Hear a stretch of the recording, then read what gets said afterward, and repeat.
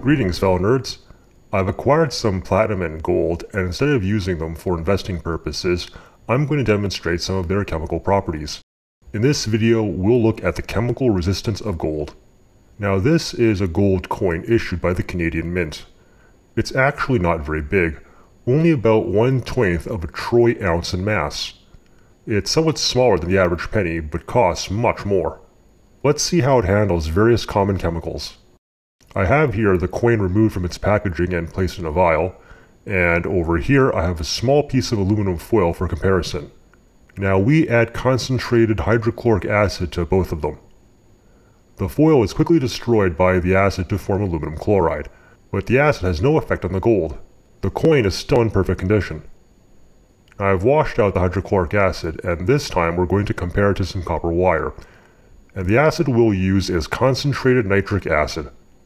The copper is destroyed as the reaction produces nitrogen dioxide gas and copper nitrate. But the gold once again is unaffected by the acid. This time we're going to team it up with sugar and the acid we're testing is sulfuric acid. The sugar is turning black as the sulfuric acid is dehydrating it and leaving behind carbon. We're not getting the famous carbon pillar reaction since this is a sugar cube rather than sugar powder. Nonetheless, you can still see the acid is strong enough to destroy the sugar, but has no effect on the gold.